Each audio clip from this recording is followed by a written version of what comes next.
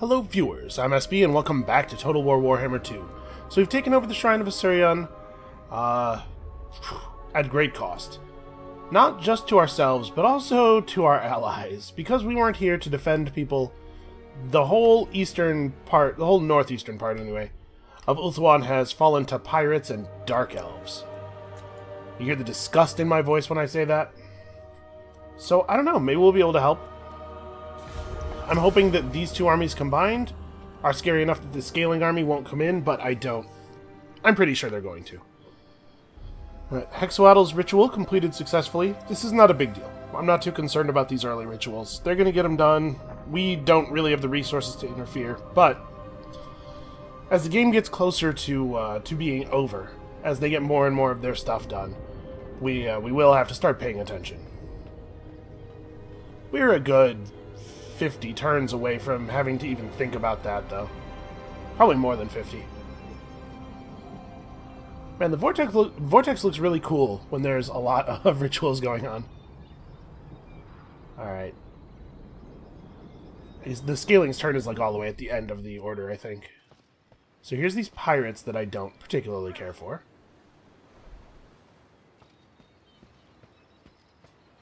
Maybe they, uh... Oh, they have, in fact, engaged the Skaelings. And then the Skaelings have taken that opportunity to move their army a tremendous distance. This is the thing. When people retreat from a battle, they uh, they move a they move a certain distance as the crow flies. And if that means their army has to run 700 miles away to cross a bridge to get over there, then by God, they will do it. So this is not great. These pirates completely removed our possibility of protecting Cairn Thel. The good news is that they've weakened the Skaelings a little bit, but it looks like the Skaelings won that battle. Alright, we're about to get attacked too, but they can't have much movement left. They've been running around like crazy here. Nope, apparently they have enough movement left. Well, we certainly can't fight them. Yeah, we're dead. So, the good news is the Pirates of Sartosa and the Skaelings are officially at war. The bad news is, have they killed... No, no, okay. Yvresse has one settlement left. It does not have walls, and it has less than a full stack guarding it, so probably they're doomed. All the factions that I like are getting murdered, and all the factions that I don't like are just surviving next to each other, filled with hate, but not actually engaging in any military actions, as far as I can tell. Alright. So, this guy's going to be a map action hero, right? This is this is why we hired him.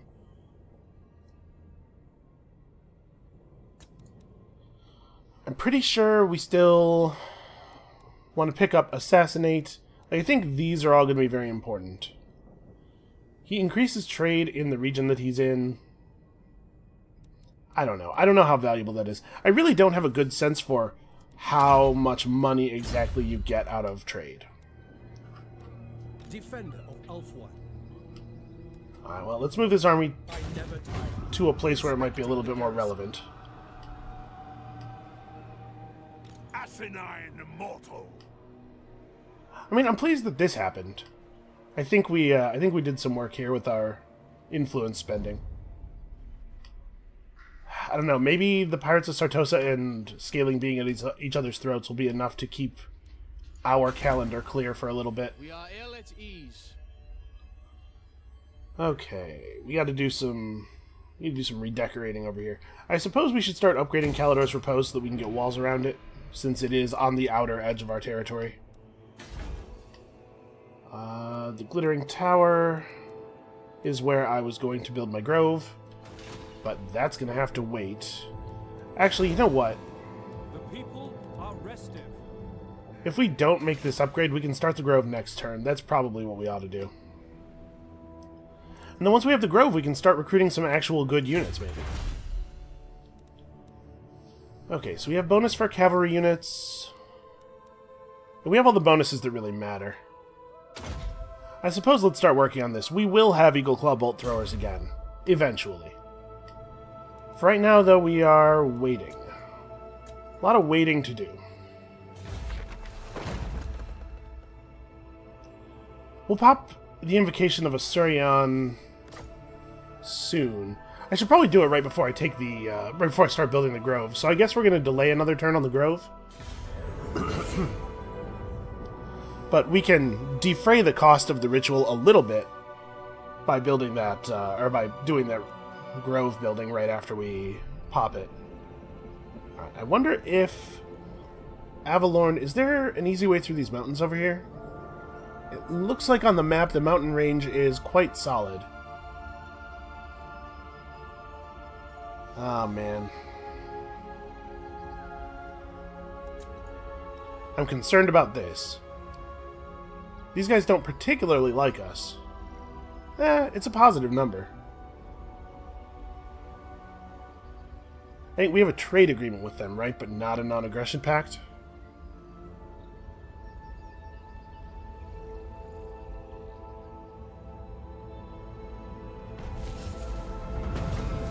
Naggarond's doing their thing, that's fine. Not really that concerned about Naggarond at this moment. Of course. What would you have of the Phoenix King, stranger? Oh no, other way around. We have a non-aggression pact, but not a trade agreement. This is a good trade agreement. Please accept it. Oh, come on. I don't really have a lot of money to play with right now.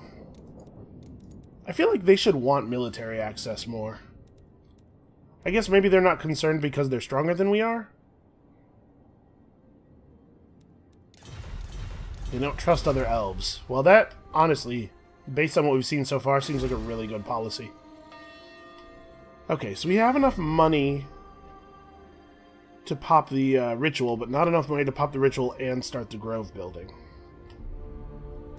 However, if we pop the ritual, we would get a public order boost, that might be valuable. You know what, let's hit it. We know that we will have enough money for the Grove before the end of the ritual. Next turn. And under the effects of the ritual, it's 3750. That's a pretty good savings right off the bat. Champion of the Ever Queen. I am honored. Alright, we gotta get some vision over here.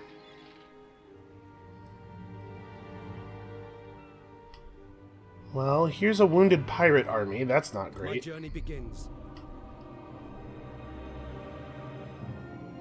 Yeah, that makes me a little nervous. So we're plus seven, we're plus five over here. Mm, it's probably not worth turning taxation back on. Let's just enjoy the plus seven for a little while. And then we definitely don't want to turn taxation back on in Kalador. Alright, as much fun as this is uh, to watch, I'm sure, I think we're just passing the turn again. We'll build our grove, get access to, access to some decent units, and also the ability to move our faction quest along a little bit more. We're going to get these legendaries. We do need to find some stuff to do to get Tyrion more XP. So we need to we need to tangle with some Skaeling armies or something, but we need to do it in a way where we can win. Welcome. What brings you here? What's up, guys? Join your war against the Pirates of Sartosa. Hmm. We could turn on the Pirates of Sartosa, couldn't we? So they have some more land off to the east, this island, I guess.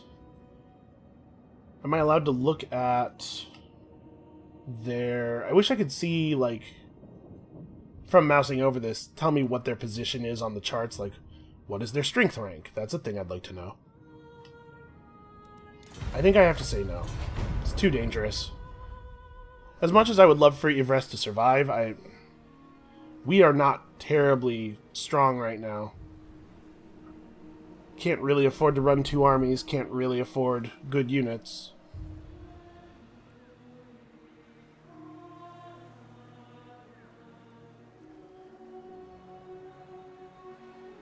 Actually, maybe we should confederate these guys. Never mind. I'm always a little nervous to take on other people's financial issues, but confederating them could have been a good way to hold some land. Alright, so we're properly walled up. The Straits of Lothern are well defended. I feel good about that, at least. We almost have more uh, building slots over here.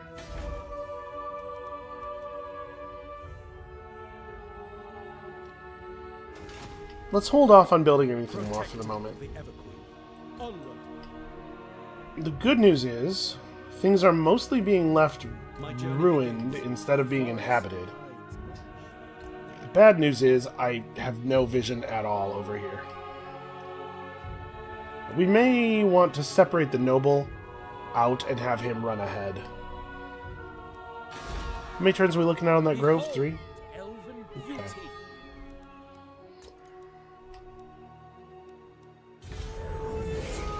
Yeah, 1789, unfortunately, is only enough to support one more lord and maybe like two units.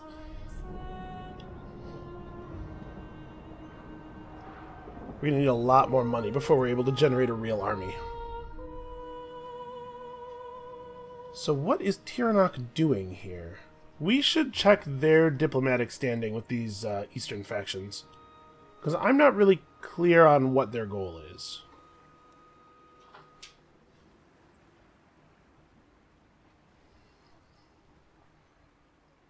Well, the Cult of Pleasure just declared war on them, actually. That's interesting. I don't know exactly where the Cult of Pleasure is on the map. I'm pretty sure they're in the northwestern area, but... It's not a huge amount of information.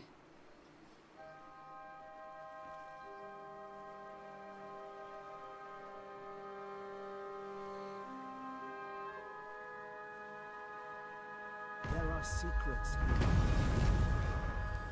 Folly of Youth. A young prince. Okay, we've seen this event before. What's uh, what's your deal, young prince? That is a pretty good follower, but we do really need influence right now. Recruitment cost up doesn't really do anything to us because I don't think we're going to be doing a lot of recruiting. Let's privately chide him. He just, uh, you know, he needs to learn the rules. Listen, Elven High Society's complicated, right? So the Scalings burned down the Shrine of Loec and then came over and settled it afterward? Yeah, Avalorn is unfortunately not really in a position to help us out with this. Plus, they got their own problems. Probably Avalorn is the only one keeping us safe from the Dark Elves. I bid you welcome to the court of the Phoenix King. Okay, so their diplomatic relationships are total mysteries to me. Well, they're not going to go for this now. Our relationship is deteriorating. We've got to fix that up. Let's have the noble scout ahead. For honor.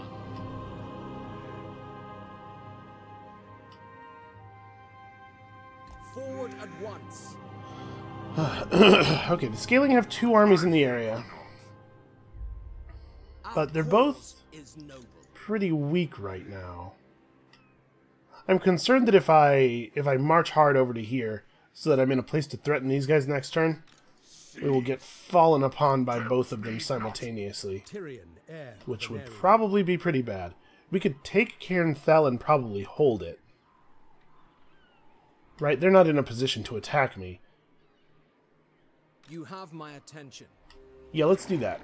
Let's take Cairn Thel and establish it. Got another trade good. protector of the Everqueen. What do you require? Alright, he has to get back in this army because we need the extra replenishment. So we'll get that next turn. We can take this region. We can we can make this ours. Once we have the extra replenishment from the noble, we'll rebuild pretty quickly, and they don't have a large enough army to be able to threaten us this turn. Next turn they might be able to make something happen, but we have access to lightning strike, so if they don't bring a force that's able uh, able to attack us profitably on its own, we can just take their armies on one by one. Lightning Strike is really, really very powerful. It's not something you always use or need, but uh, it lets you break down the forces of economically superior enemies pretty easily. And uh, the AI, if you're playing on very hard, the AI, AI is always going to be economically superior to you. Winning on the higher difficulties is very much about making the most out of relatively little.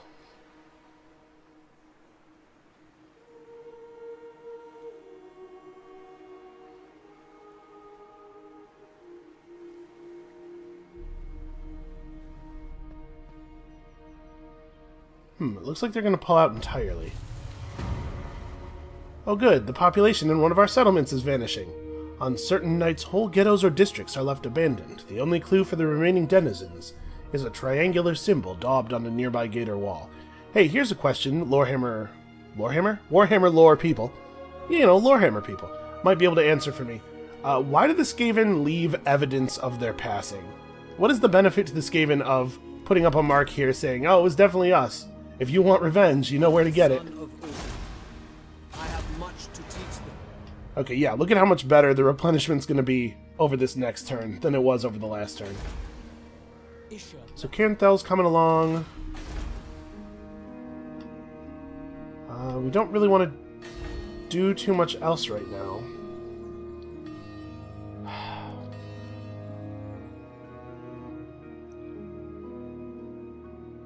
I do want to upgrade Calidor's Repose, but it's not in danger right now.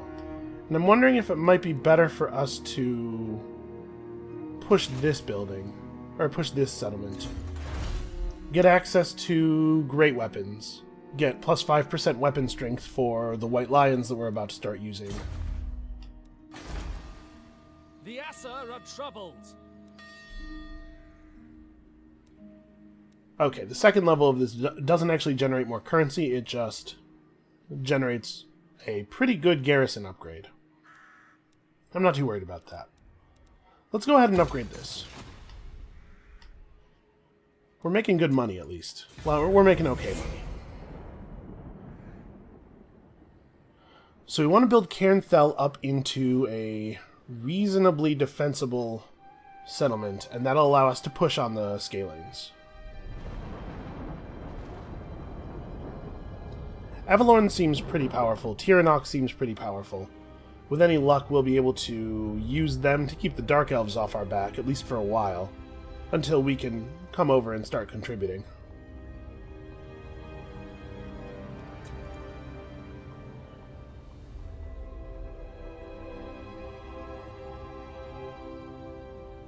So let's see if the Skaelings have any interest in us at all. They might just back off, and if they do, then that'll make it easier for us to take the city in southern southern Yvresse back. Okay, For Alaric, my queen. we have been sieged. Uh, well, I guess Lothern Seaguard are way more likely to make it into our army than Eagles. I don't really care for Eagles.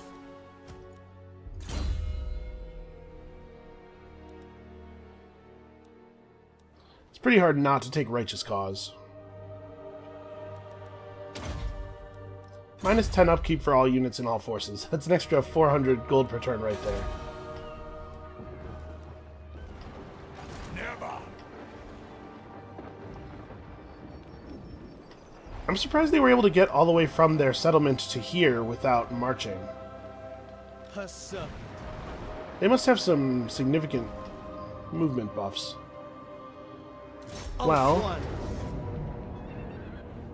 This has us slightly uh, favored. I guess their army is largely missile cavalry with very low armor. So we get to shoot a lot of them, and then also we have spearmen. Honestly, I may just auto-resolve this because the auto-resolve paints us as the winners, and I'm just going to let the AI do this. I'm not 100% sure that I would win this battle. And I hate dealing with Marauder Horsemen. They're some of probably the least fun enemies in the game to fight. We definitely need to take their punishment here. I do appreciate them coming over and giving me a thousand gold, though. Ever vigilant. A true Asur. What orders? Well, we beat them. Their army looks very sad now, I imagine this should be a much better auto-resolve. One thing I really like about auto-resolving against these uh, uh, against enemies with this army is it always gives crazy number of kills to the archers, and they're leveling up very quickly. them to their ancestors. My strength grows. Alright, uh, we probably are not in a good place to push this settlement, given that it has a garrison and everything. Shield against the darkness. But that's gonna that's gonna blunt their assault. So we have righteous cause. Let's keep working on quartermaster. We might be able to uh, to mount a second army anytime now. Actually, is the grove finished? The grove is finished. So what is the global recruitment time? Four turns for White Lions. Okay, well, how many do I need for that quest? Two. We could just sit here recruiting for two turns. We're going to be healed up in two turns. I guess these spears need a little while longer. But I guess the, the better thing to do is probably to get back over the border and just local recruit. I'm a little concerned about that leaving Cairn Thel vulnerable, though. As long as our army is here, it's a lot safer. Awaiting orders. Also, they're quite expensive through the global pool. They'll be about half this much through the local. Yeah, I should I should probably just ones defend them. run. They're building up. It looks like they were injured recently. If we lose Cairn Thel, it really isn't the end of the world. Protector of the Everqueen. It's not ideal, but it's not the end of the world. We have shaped this world. I think we have to do this. It's 50 extra raw income, plus 5% from every building in this province, and 3% from every building in adjacent provinces, which means all of our income. That's our entire empire right now. Two extra building slots, yeah. We'll probably be able to still afford the White Lions. Like I said, they'll be a lot cheaper to recruit through local.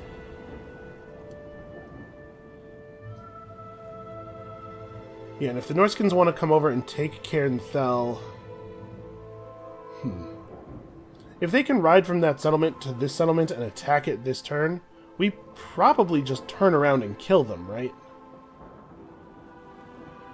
I guess I don't know for sure that I'll have enough movement to do so. If they can make it from their city to Cairn Thel, though, I can make it from here to Cairn Thel.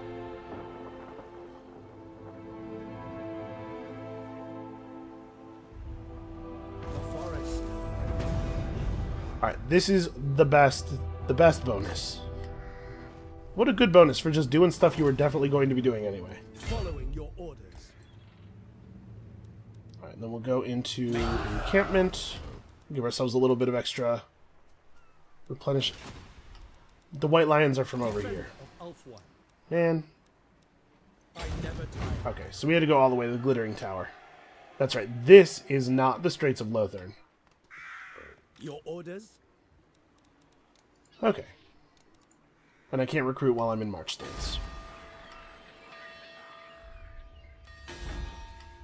We are ill at ease. We're gonna make 3,000 more gold this coming turn. We can afford to do this.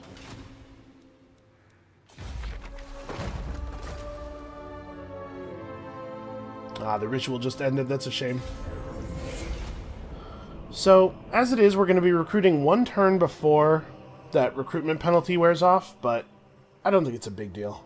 25% extra money on relatively expensive troops is unfortunate, but it's not going to break our bank. I think we should be fine. And I think it was a fine it was a fine trade-off for the influence we got. Because we're going to want to hire a second uh, second lord, and we're going to need it to be a good one. You know, a second second lord, because of the thing that happened to the first second lord. It really did not unfold the way I was expecting it to. Servant of the king. As you command. Alright. Oh, that's right. His troops recruit in one less turn through the normal pool with him. I'm not still not sure exactly how his recruitment bonus works, but it's made these guys fast. So for comparison, White Lions have actual armor on. They have 16 more melee attack, not a huge amount of melee defense. I mean, they don't have shields. Their damage is largely armor piercing, which is not particularly relevant against um, Norsca. They have this lion cloak, which aids against missile attacks. That's good. Norsca has a lot of like javelin throwing. Armored, armor piercing, melee attack and defense advantages in forests. Oh, and then also a lot of melee defense. Wait, our other units have this too, right? Okay, is this is this just the thing that all high elf units have? While we're at more than half health, we get a bunch of bonus melee defense. That's pretty cool. So we need to recruit at least this from the from the pool here. But I mean, these guys are pretty good. It seems like we probably do need spearmen though. These guys are much more armored, but they have much less melee defense. And melee defense can some, can make enemies not hit you at all. So we probably want to keep running spears to some extent. Yeah, okay, so let's do this. We'll, uh, next turn we'll start moving back. They're going to take Cairn Thel, and then we're going to, uh, go on a Norscan murdering spree.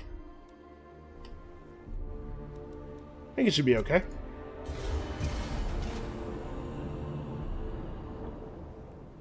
Plus, at some point, we're going to hit the end of one of these damn legendary item quest lines and actually get to get the legendary item.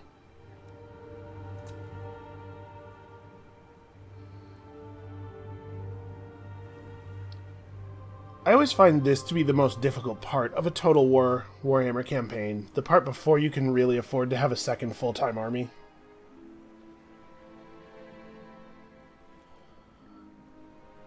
So the White Lions have a pretty high upkeep cost, and that's part of why I didn't want to just go full-on White Lions. The other reason is that even though they have a lot of armor, they probably still uh, they probably still will die faster than spearmen in melee combat due to the fact that the spearmen are so good at not getting hit.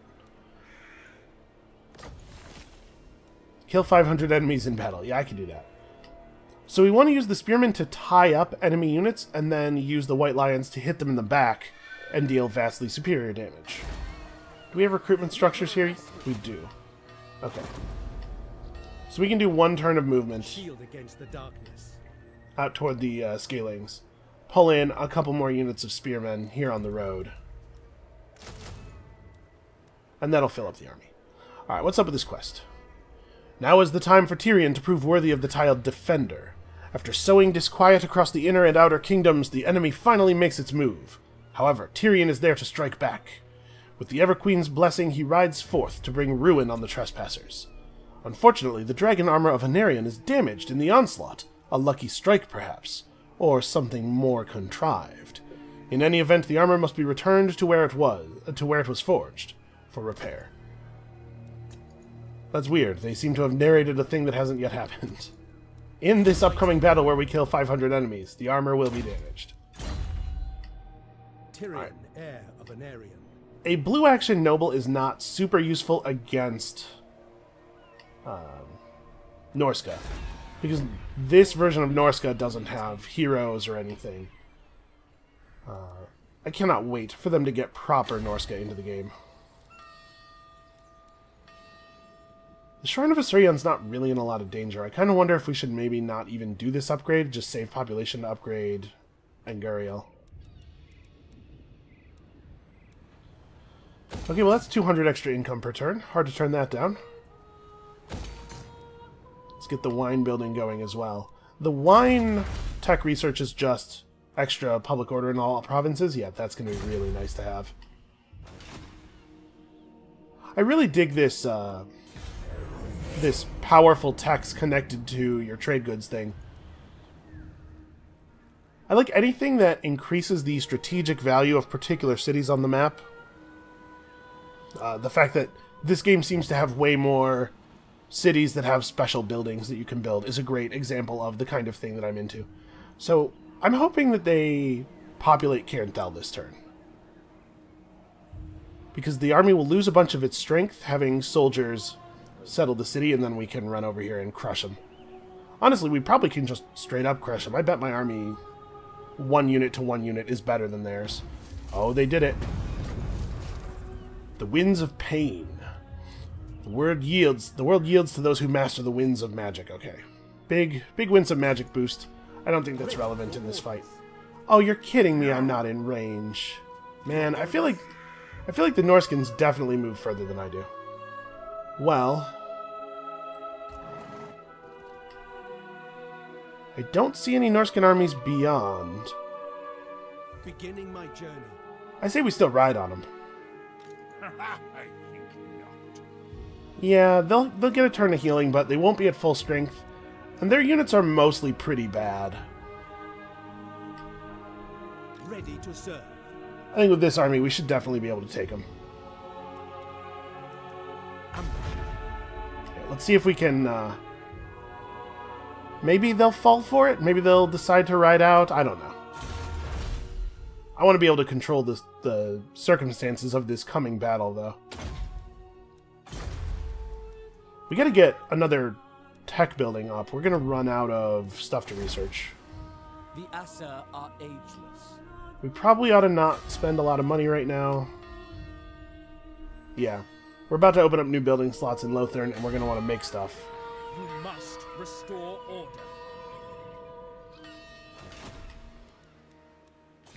How long until... Okay, the Invocation of Vaul is available again next turn. I'm wondering if we just hit it on cooldown to keep the dilemma thing rolling, because it is pretty good. Actually, it does give... It does give um, stuff that's relevant now, now that we can summon one of the units that's on here. Summon. Recruit, sorry. Listen, it may as well be magic. I'm curious to see what these guys will do.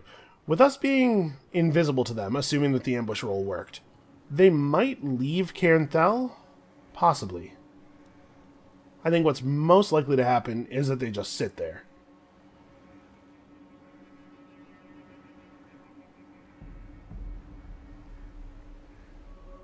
If they just sit there, I think we probably are able to attack them productively. If they come out here and attack us, it will end poorly for the... Oh, unless they have a second army nearby. Which, of course they do. Okay, he went off into the darkness, though. Defender of Ulthuan. Well, I mean, we would crush this force. Chaos Warhounds are, uh, are real bad units. Yeah, and Cairn Thel has a currently a four-unit garrison. I'm assuming these guys are not at full health since the garrison just got built. The only real bad news about this is that I don't think there's 500 people in that army for us to kill. Okay, so we can upgrade this thing. It'll give us access to cultural advancements, better nobles, increase income from the entertainment building by 30%, which is fine. What is in cultural... Oh yeah, that's right. Cultural advancements is a whole lot of really good stuff, actually. We should probably do that.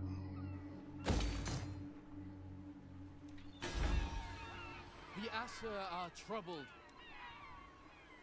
We should definitely keep pushing on this. Ever loyal. My ancestors would be proud. Alright, Live let's... to serve my queen. Do we just hit Cairn Thel directly? Looks like... Huh, it doesn't it doesn't show that they'll sh they'll uh, come as reinforcements.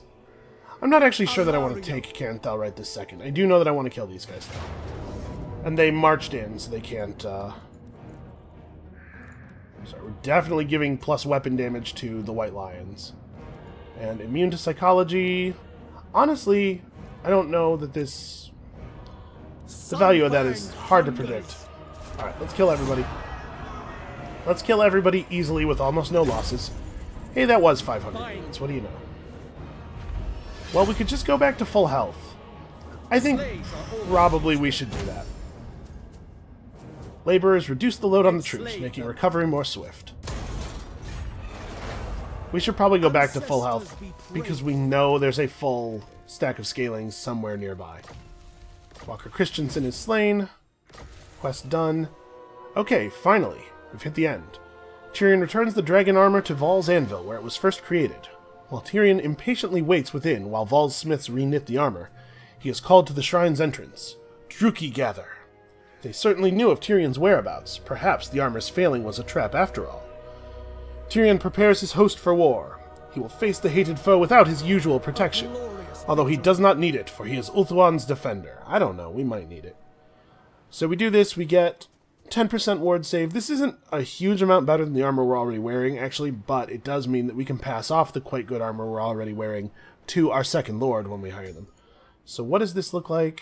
They got some witch elves, which I don't know a lot about, except for the fact that they're pretty good at Blood Bowl. Harpies, which are pretty much just garbage units. They're fast. They get in your archers and stuff, but honestly, I bet I bet harpies lose melee combat against archers a lot. Black Ark Corsairs, anti-infantry, high armor, very good melee attack. Well, okay melee attack. This is a scary force. A lot of armor. Witch elves don't really have any armor. So these witch elves actually would be maybe not that dangerous, because they're going to get archered real bad. I don't know if I want to go after this battle with a force of uh, a full stack of Skaelings, just like right out of vision. Right out of vision. We know they can't be much more than a turn of movement away because we saw them move away last turn.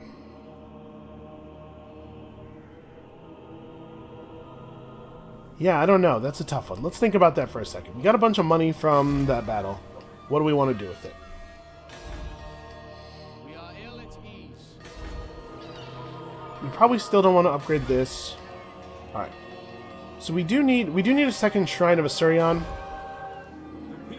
We'd uh we could delete the growth building here. 27 growth is more than a fifth of our total growth. It's more than a quarter of our total growth. Uh, probably that's not worth doing. Let's just wait until we can upgrade this and then we'll build our shrine. Or we could build it here, actually. Yeah, let's do that.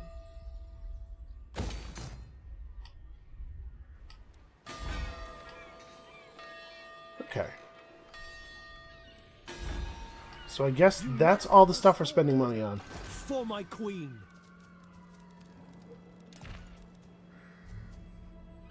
Fifteen hundred XP is more than a level. No, it's almost exactly a level. So he would level up because he gets some XP from actually fighting. 30 wave fragments I'm not too concerned about. Honestly, the armor's not that important at this moment. Let's not worry about this. We just go and take Cairn Thel, and because it's not empty, we can occupy it without losing troops. It kinda doesn't make a lot of sense, given that we killed everyone in the city. And if the city had been empty when we approached, we would have had to devote a bunch of guys to taking it. But I guess this is how it has worked out. We'll see about uh, we'll see about these dudes at Elisale, Elis, Elisale. That one. We'll see about the dudes over there next turn. No. Sorry, I was trying to click this button. We'll get to the rituals. I'm not uh, not in any hurry on that front.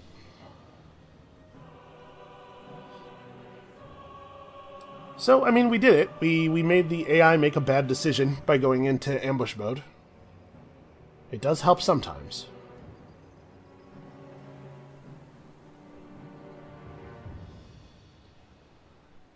Yeah, so the, the quest for the dragon armor will become a lot more relevant once we have a second lord out. Oh. Interesting. This just, this just got burnt down. This was owned by the Pirates of Sartosa last time we saw it, wasn't it? That suggests to me that the Skaelings may have brought that big stack of theirs over there. My journey begins. Uh, indeed, they have abandoned Elisale. Well, they're trying to rebuild at the Shrine of Loec. Ready for orders. Very well. We should head this way. We can hit this army outside the city using Lightning Strike to prevent the garrison from participating in the attack. Kill them, then hit the garrison. We'll blow out two stacks and take back a, I'm assuming, a relatively valuable city over here. Although Elisele is the capital. And then we'll head back up for Elisele. Because once we have this, once we have this turned back to us, it should be fairly easy to defend it, I think. It's kind of out of the way.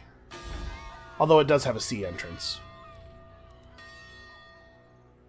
Alright, so the next thing we probably need is a forge. It would be cool to have mages. We should probably get mages, because right now we have no use at all for our Winds of Magic. I just really want to have another bolt thrower. But yeah, maybe maybe mages next. The are troubled.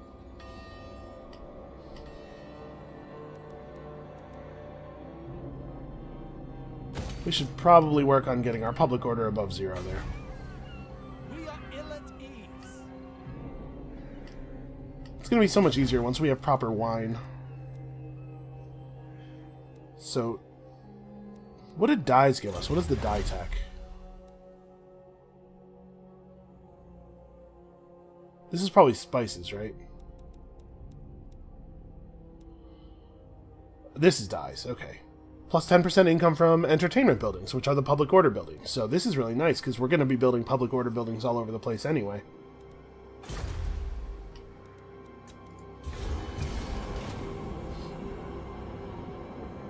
Alright, so the way this could go really wrong for us is they could pull the weak army out of the city and put it like behind, pull this army into the city, and have them finish their recruitment in the city.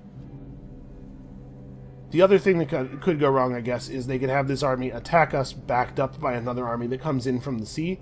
But right now, these guys are not uh, are not going to be able to beat us in a stack versus stack fight.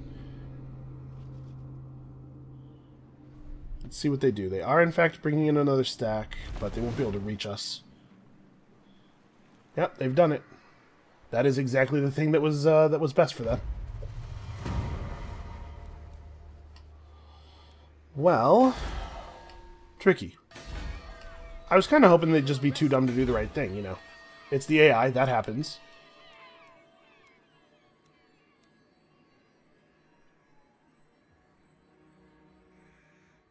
Wow, it is really nice to have high public order as elves. So we're one turn off of having the next step toward our sword completed. A lot of not that exciting economic stuff going on here. It's cheaper to build the Forge. The Forge gives us access to Military Advancements 3. This gives us Military Advancements 2. And those things aren't actually bound by one another. They're just numbered. It's not a progression. So what's in 2? Missile damage for archers. That's pretty good. Minus upkeep for archers. Armor for basic units. Some buffs for cavalry. Okay, the top part of this tree is extremely, or the top part of this grouping is very relevant to what we're doing. What about these guys? This is what I was uh, a little bit afraid of with Military Advancements 3. It's not that useful to us because it's going to be all about units that we're not really using yet. Silver Helms, Dragon Princes, Lore Masters of Hoeth, and Mages. Award saved for Phoenix, that's pretty cool.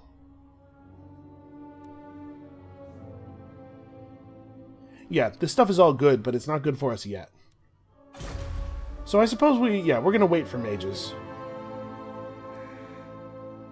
Military advancements too would be nice to have access to. And then we'll get some, uh, we'll get some administrators going and stuff. So they are now on 25 units versus our 20. Over here it's worse, but Norscans, for some reason, don't believe in walls. So at least we don't have to worry about sieges. Ever vigilant. Hmm. We might still be able to do this, actually. Our units are just a lot better than theirs. Not because our units are good, but because the base Norscan units are very bad. Like, Marauders are just terrible fighters.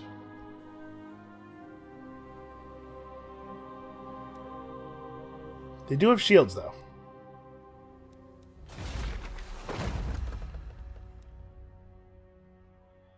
Plus 5 armor. Mo mostly this is relevant to recruitment.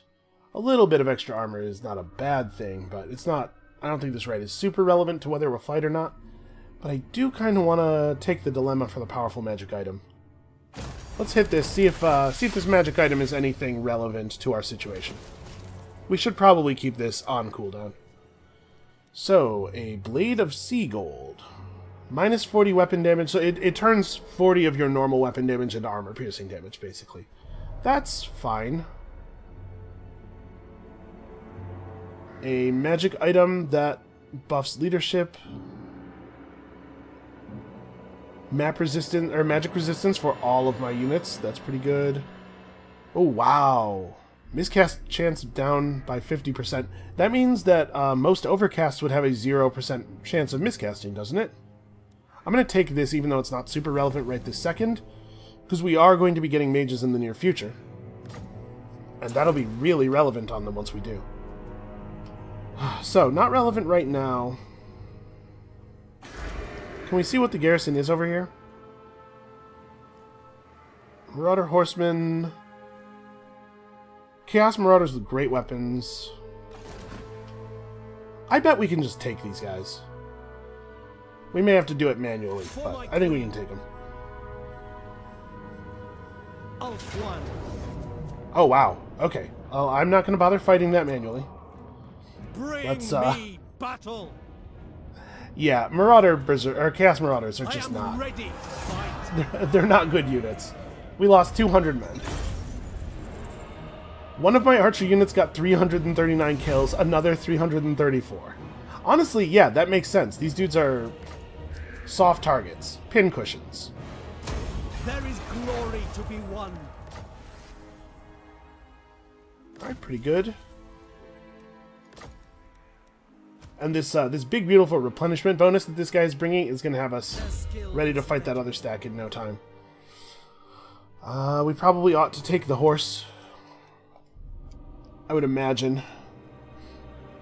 I know we're going to be a map action hero and everything, but as long as we're still fighting stuff. Horses are pretty good. Also, I don't know if the horse actually improves his uh, map movement when he's detached from an army, but it definitely should, right?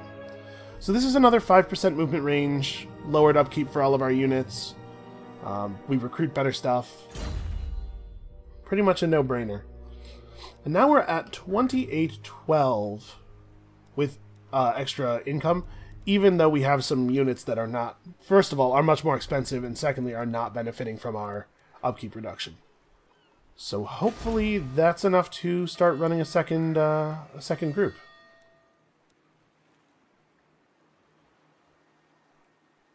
Man, and the shrine has functional recruitment buildings in it already. That's great. I'm just going to build a growth building here for now. Okay, that's still not something we want to mess with. We do need to finish upgrading that when it's available.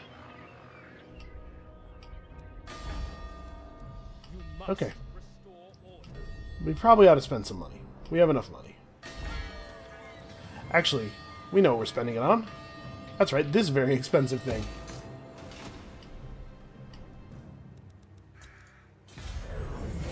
Alright, let's see if these guys ride out for Cairn Thel. If we could catch them on the road, that would be the easiest thing. We'll be basically back at full health at the start of the turn, and uh, obviously this stack should be the 20 stack of random Chaos Marauders pretty, uh, pretty easily. Unfortunately, these places are all corrupted up from all the Chaos fighting. And it's going to be a while before we can get that down. Actually, it's still going up because of the fact that the capital is Chaos Aligned right now, probably.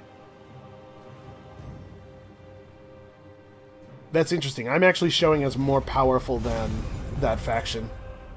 The Dark Elves are onto their second ritual already. Wow. Alright, so we got that done. The conspiracy is traced to Saphery, where the prince's lies have spread to the lore masters. I hate those guys. While Tyrion simply tries to hunt down and face his accusers, he finds an aggressive battle line in the lee of the White Tower, for the mages of Hoeth have ever been Teclis's people. The princes would have, would have that Tyrion's recent actions prove that he is not the honorable defender of Ulthuan, but a Druchii sympathizer, a weakness of his lineage. Battle is inevitable. Alright, so we're actually right on this. This is a big deal. Plus 3 public order to all provinces, it's a lot of extra weapon damage, it gives us a cool spell. Reinforcements expected. This is a pretty easy army to fight, although they do have an Eagle Claw bolt, bolt thrower. But let's not do this right now, because we may need Tyrion's army to be in good shape here. So the unfortunate part about this is that we don't have room to start building up our walls. The other unfortunate thing is that it's going to be like a year before we have the population necessary to start building the real walls. But we it's probably better for us to have the recruitment buildings around, at least for right now. So let's not demolish those. Shield against the darkness. Let's get off the island and uh, see what things look like out here. Right, these guys still haven't left Elisali. I'm going to try going into ambush mode. Maybe we can trick them into doing something unwise again. And we'll go after Sunfang soon, but I don't think it's a good idea to do it right now. We are ill at ease.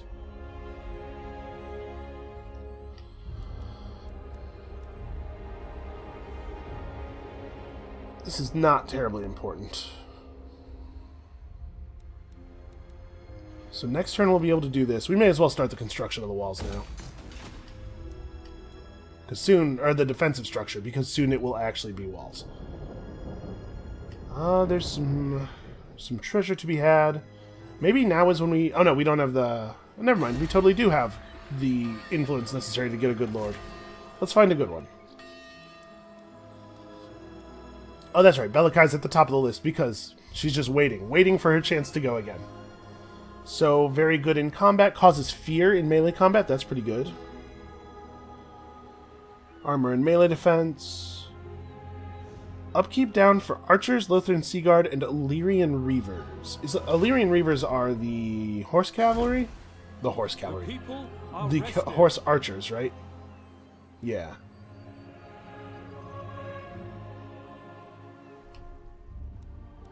Wait, what was her?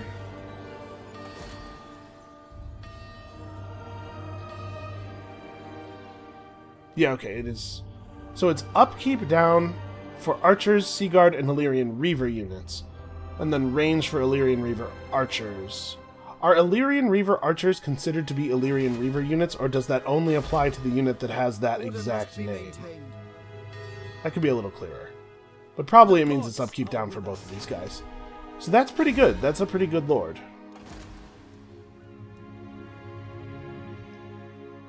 Charge bonus 20% for the entire army. Plus weapon strength up for cavalry. Plus missile damage for cavalry archers. Wow. This is very good. I mean, it kind of types the army pretty strongly, but it's a very strong series of bonuses. We can also just pick up the White Lions guy now that we have White Lions available. But no, I'm gonna take I'm gonna take Vera. Vera the cavalry princess, and we're gonna make a cavalry army. That's too cool not to do. Uh, that said, we're still going to need blue line because it's still very hard, and we're still going to, you know, be paying out the nose for these units. So we don't actually have a cavalry structure here. Should I make one? I can't make one. We just have her ride over here and recruit. You must restore order. So it's just Ellyrian Reavers, though, right? Not Silverhelms? I've already forgotten what her traits do. Oh no, it's Silverhelms too. Plus 20% weapon strength, plus 20% charge bonus. That is bananas. Yeah, alright, I'm just gonna have her uh, run over to like, Cairn Thel, and she'll recruit in Cairn Thel.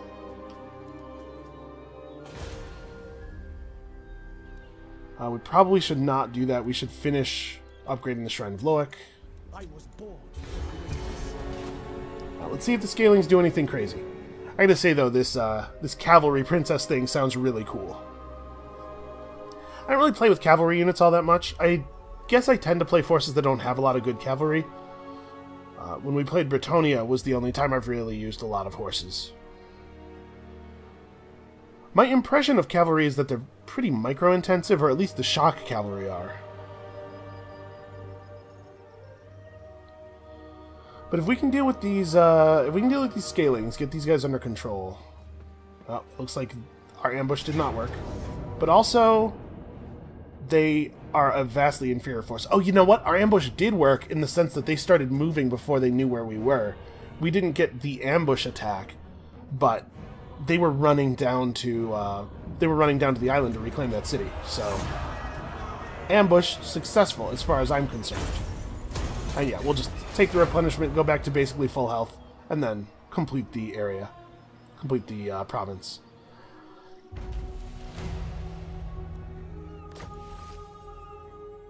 A Chracian Scout. Wow, that's a lot of chance of not getting ambushed there.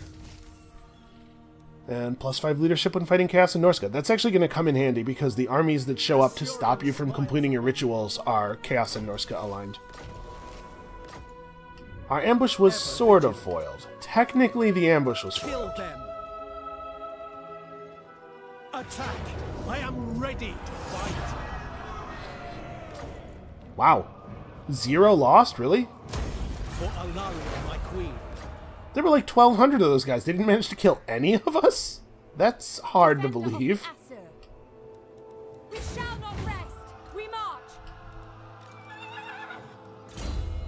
Okay, so now that Tyrion's got the blue line stuff I was really eager for, we could go and get Elven Healing, but I think I'd like to start into the red line, maybe? As much as it would be cool to have Tyrion be a total combat monster, buffs to the entire army seem wise. So what do we have available here? We can get... That's weird. This skill buffs melee attack and melee defense for archers, and then missile damage only for Ellyrian Reavers. It's just, it's weird how split up all the archer buffs are. I guess it's important to keeping you from making your archers incredibly powerful. Well, we're not really a chariot army. We need to spend five points in this skill group, so we'd probably take, like, Bowmaster, right? Ammunition and reload time reduction. Ammunition has been an actual problem for us. Get a bunch of ammunition, and then, like, maybe this skill to make our spearmen a little better, or... Honestly, probably this skill. Because we're to start getting better units. So we'll head down the red line, and then once we get into the second box, we get to start buffing up units that have uh, have veterancy, and we already have a couple units of our new uh, archers are rank 7 already, which is pretty good considering a lot of these units were very recently hired. Their skill is legend. Alright, uh, you can finish off specialists, just get even better at stuff. How long until we can hire a mage? One more turn. I might want to run this for a little while. We're trending down towards zero corruption, but we're not trending as fast as we could be. And being on zero corruption is really valuable. Corruption is such a pain. So we already have recruitment structures. Honestly, just get growth. Growth in this uh, this province is so poor right now.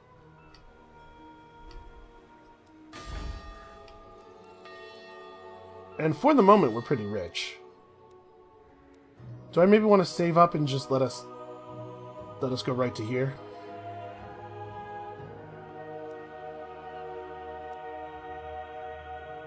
That'll get us Sword Masters of Hoeth and the Lore Master of Hoeth, which is. It says invariable gifted warriors. Are they wizards? I thought they were wizards. Guess it's using warrior in like the broad sense of people who participate in a war.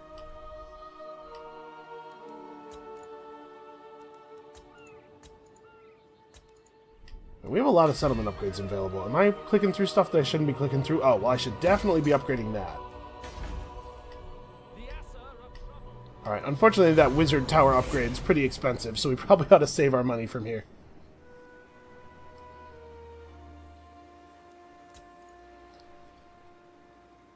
So the Skaeling have their, I think their home is off the northeast side of Ulthuan. It's not, uh, it's not going to be easy to finish them off. I would really love to. Love to not have to worry about them again. The Pirates of Sartosa have declared on the Scourge of Khaine. I wonder... We might be able to be friends with the Pirates of Sartosa, because we know they're at war with the Skaeling, and we're doing some fine work on their behalf right now.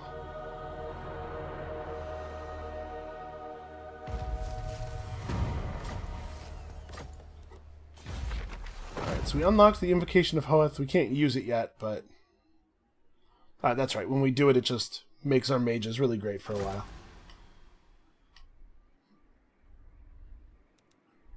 So Pack Ice Bay is out here. We probably would not take this over because the climate is really harsh. We can't afford to have far-flung settlements that are going to give us a lot of trouble right now. Ooh. Pastures. Do pastures call the great herds? Okay. Upgrades for... Speed upgrades for our horse units.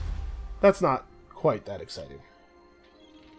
But yeah, maybe this is a good time to finish off the Skaeling and maybe we can take advantage of the fact that we're doing that with these guys. Actually, they really like us. What? I am ready to parley. I hope your words are wise. Oh yeah, trade agreement. They don't really have anything, but I'll take it. Of course. I don't like the fact that they participated in the destruction of Yvresse. In fact, that they may be largely responsible for the destruction of Yvresse, but we can forgive for now. So do these guys, the Skaeling, they have six settlements. I can see one, two, three, four, I guess probably up around here. We should push them. I think this is a good time for Tyrion to ride off and try to murder all Skaelings forever. Yeah, because they're building up, and if we let them build up, then we'll never be rid of them. Ooh, a skull reef. That's a lot of money over there. Let's go grab that huge amount of money. And then we'll uh, we'll start coming back around here and we'll plan to make landfall on the beach. A Rampager standard, plus 7% charge bonus. Okay, that's something that uh, we could assign to the princess. The skull-shaped lair lying ominously on the horizon could only be the hidden hoard of Count Noctilus, legendary vampire admiral, who was the scourge of the seas in his great vessel the Bloody Reaver. Legend has it that Noctilus's treasure is hidden upon the great ocean and guarded by zombie crewmates damned to protect it for all eternity. That is, until your fleet chances upon the lair. So when you find the Skull Reef, uh, it always gives you 10,000 gold plus something. You should always, always, always hit the Skull Reef. To adventure. Well, now that we're crazy rich, let's uh, let's upgrade our mage tower, and also this thing, right? Oh, it gives plus one untainted in adjacent provinces. That's nice. It'll help clear the chaos corruption out of here, and it'll let us recruit phoenixes again. I'm not sure that I care about that. The phoenix was fine. Maybe frostheart phoenixes are cool. Armored, armor piercing. Yeah, actually, these sound like they could be useful. But this is what I'm really into, is being able to eventually recruit Phoenix Guard. But upgrading the Shrine of Asuryan doesn't get us any closer to any tech or anything. Ah, maybe this would be a good time to start up dragon recruitment.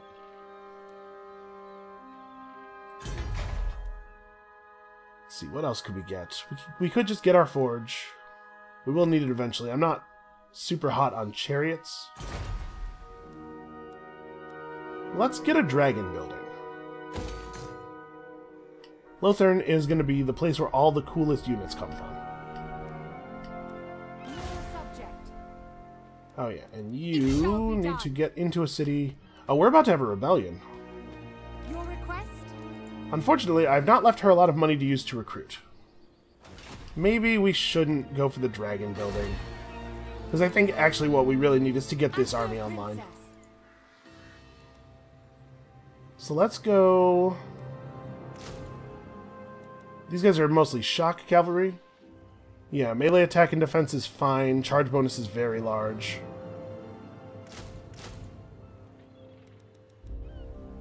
Uh, does she want any non-cavalry units? I think I'm going to say no. I think we're going to just go really hard on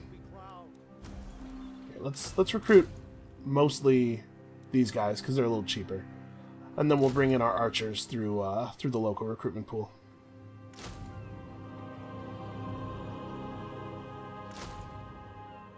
Alright, I think that's a better use of that money, honestly. We're going to need this army in place because it's going to be the army that fights off this rebellion anyway, so... I'm glad I uh, glad I researched this already. So we have six turns on that. We're going to be able to research the wine thing in three turns. I'm not actually working on uh, resource stuff anywhere else, right? We are ill at ease. Yeah, I put it all on hold.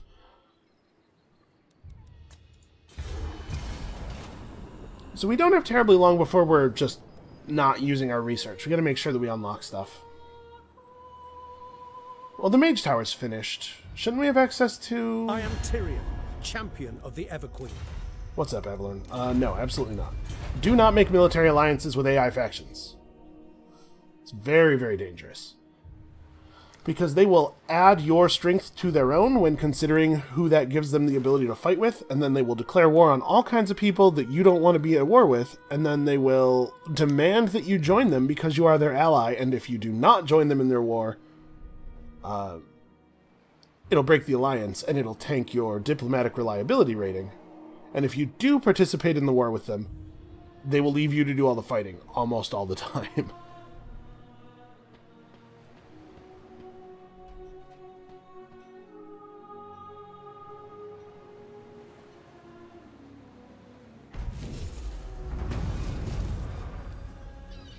At a great masque to celebrate Vaul the Maker, the floor is cleared so that the Phoenix King and Everqueen may dance together. The platitudes and graciousness from the guests are unending, but afterwards many are left wondering who the Phoenix King will bestow the honor of the second dance upon.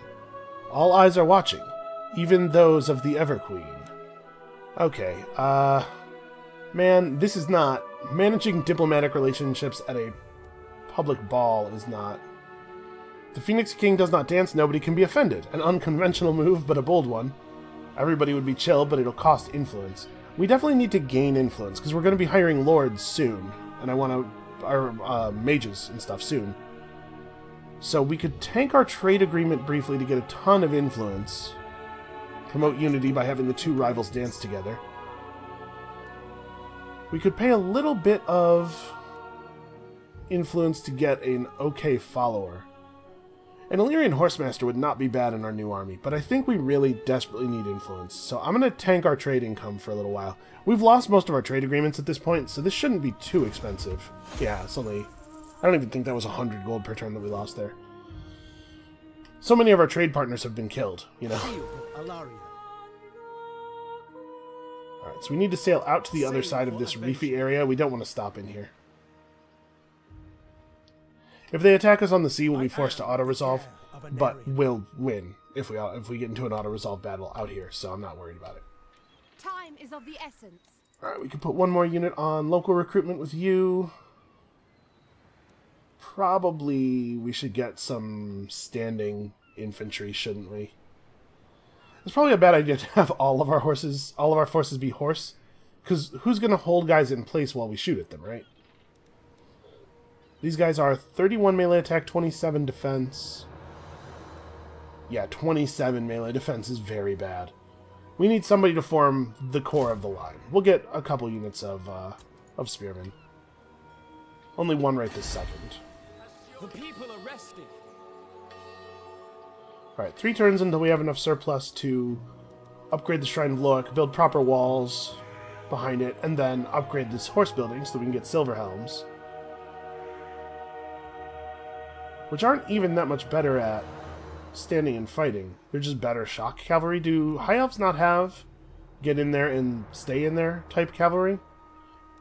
Oh wow, the base charge bonus on Silver Helms is crazy high though. It would be even better if they were in her army. Order must be maintained. Alright, we're tanking the Chaos Corruption out pretty quickly now. Yep, so we're not going to respond to that. We know about the rebellion. We're not doing the Vortex Ritual. So we can start up military advancements too. Honestly, Swift Sense is so irrelevant for us. Let's just get started on this, because we really, really want some of this stuff now. Now we actually have Ellyrian units, uh, Ellyrian horse units, so like this stuff will be relevant. This will become relevant as we get Silver Helms. Yeah. And then monthly festivals is going to be so good. So now it's 40... Yeah, it's 40 influence to get good mages. So what, is, what does good actually mean?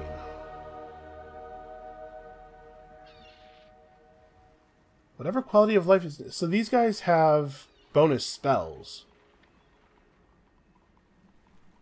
Pretty good bonus spells. Glittering Robe is, uh, is not bad.